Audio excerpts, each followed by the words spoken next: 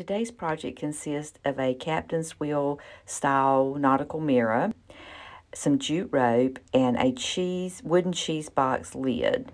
First, I removed the mirror and then knocked all the spindles off except one and painted the entire frame black. Then I removed the final spindle. I attached the mirror with silicone sealant and then using hot glue I began to wrap the jute rope around the outside of the mirror inside the wooden lid.